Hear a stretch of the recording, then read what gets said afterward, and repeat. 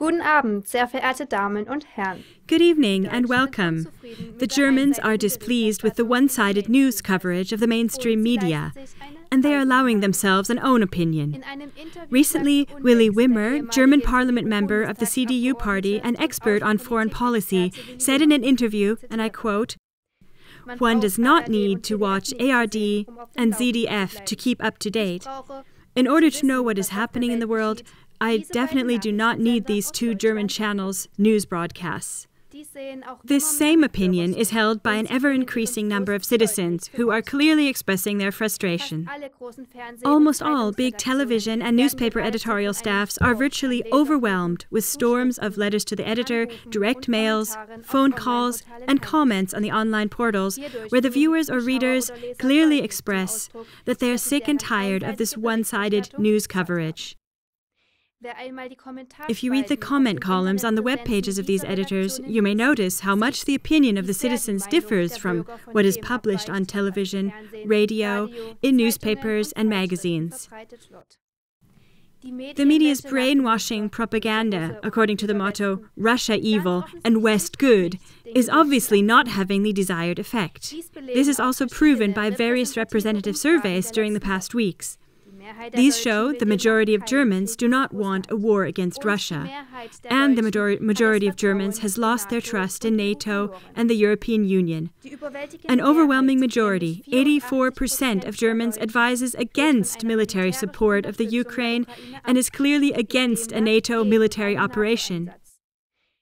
They are pleading for neutrality towards Russia and for a German intermediary role. Also, almost all of the respondents, namely 92%, are against breaking off political relations to Russia. A journalist of the weekly newspaper Die Zeit, The Times, summarized this reality with certain uneasiness. I quote, I haven't seen anything like what is happening here in the quarrel about Russia and Crimea in all my 30 years of experience. If the surveys do not mislead, then two thirds of the citizens, voters, readers, stand against four fifths of the political class, that is, against the government, against the overwhelming majority of parliament, and against most of the newspapers and television stations. End of quote. Furthermore, valued viewers, more and more people in Berlin and other German cities are taking to the streets in regular Monday demonstrations in order to publicly voice their displeasure and stand up for peace. And it is not only normal citizens raising their voices against politics and media. More and more prominent persons join in the chorus with others fed up with the mainstream media coverage. At the same time, independent media platforms like Klagemauer TV are springing up all over the world and give the mature citizens what they demand a possibility to form an own balanced opinion due to hearing also counter voices. For today, we say goodbye with some quotes from the already mentioned commentary columns of the big media.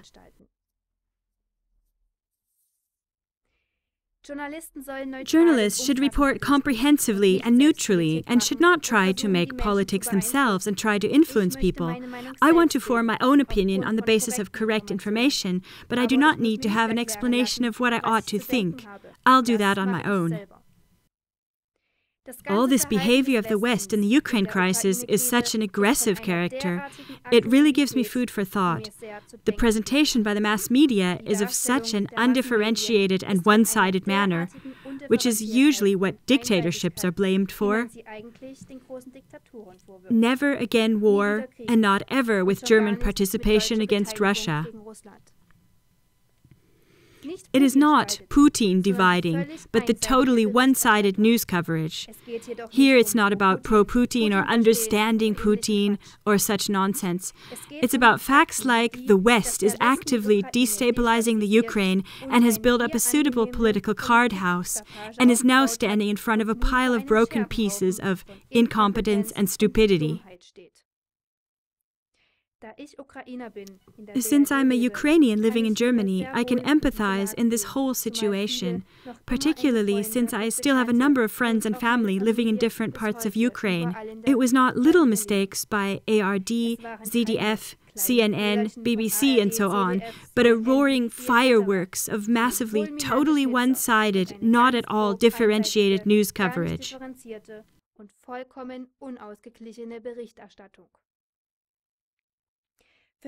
For me, the credibility of our TV broadcasters is damaged for an unknown period of time, and I ask myself, what all has been dished up in my credulous times? NDR, are you aware of what the opinion of the majority of the commentators here is? You are working on our behalf and from our money, so get to work. Valued viewers, we wish you a good evening. Make our broadcast known to those who still credulously take just anything that's dished up by the mainstream media. Goodbye until next time.